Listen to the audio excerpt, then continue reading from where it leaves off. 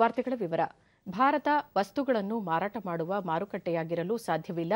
ಸ್ಥಳೀಯವಾಗಿ ಉತ್ಪಾದನೆಗೆ ಈ ಬಾರಿಯ ಬಜೆಟ್ನಲ್ಲಿ ಆದ್ಯತೆ ನೀಡಲಾಗಿದೆ ಎಂದು ಪ್ರಧಾನಿ ನರೇಂದ್ರ ಮೋದಿ ತಿಳಿಸಿದ್ದಾರೆ. ಕೈಗಾರಿಕೆ, ಕೌಶಲ್ಯಾಭಿವೃದ್ಧಿ ಮತ್ತು ಉದ್ಯೋಗಾವಕಾಶ ಸೃಷ್ಟಿ ಸೇರಿ ಹಲವು ವಿಷಯಗಳ ಬಗ್ಗೆ ವೆಬಿನಾರ್ನಲ್ಲಿ ಪ್ರಧಾನಿ ನರೇಂದ್ರ ಮೋದಿ ಪಾಲ್ಗೊಂಡು ಮಾತನಾಡಿದರು.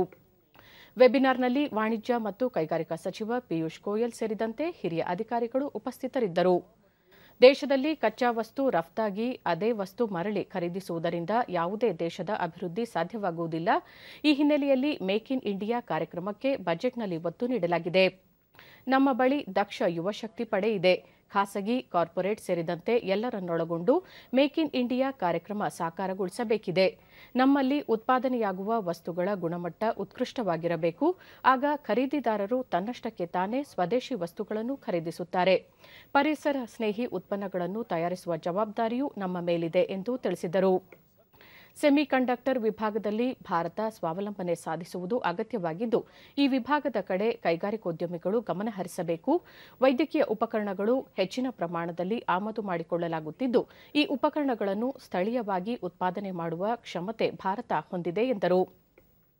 ನಾವು ಸ್ಪರ್ಧಾತ್ಮಕ ಉತ್ಪನ್ನಗಳನ್ನು ತಯಾರಿಸುವಲ್ಲಿ ಕ್ರಾಂತಿಯನ್ನು ತರಲು ವೋಕಲ್ ಫಾರ್ ಲೋಕಲ್ಗೆ ಒತ್ತು ನೀಡಬೇಕಾಗಿದೆ. ಇದರಿಂದ ಸ್ಥಳೀಯರು ಸಬಲೀಕರಣಗೊಳ್ಳಲು ಸಾಧ್ಯವಿದೆ ಎಂದು ತಿಳಿಸಿದರು.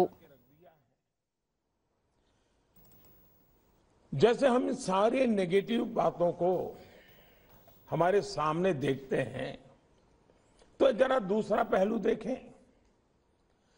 इस के प्रकाश में भी हमें लगेगा कि इतने बड़े संकट जब सामने होते हैं, कभी भी स्थितियाँ बदलती हैं तो मेक इन इंडिया की ज़रूरत पहले से ज़्यादा हो गई है। दूसरी तरफ़ अगर हम देखें क्या कोई पॉजिटिव बातें हैं जो हमें मेक इन इंडिया के लिए प्रेरित करती हैं? अवसर को हम ढूंढ पाते हैं क्या? आप देखिए, जिस देश के पास इतनी बड़ी मात्रा में युवा पीढ़ी हो, नौजवान हो, जिस देश के लोगों के टैलेंट के विषय में दुनिया में कोई क्वेश्चन मार्क न हो आवश्यकता के अनुसार स्किल्ड मैन पावर को डेवलप करना डेमोग्राफिक डिविडेंड और दुनिया आज डेमोक्रेटिक वैल्यूज़ की तरफ़ बहुत आग्रह और आशा भरी नज़र से देख रही है।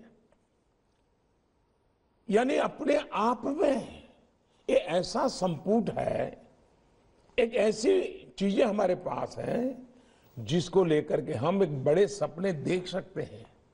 तो उसके साथ साथ अथाह प्राकृतिक संपदा के हम धनी हैं। हमें इसका भरपूर इस्तेमाल मेक इन इंडिया के लिए करना ही चाहिए।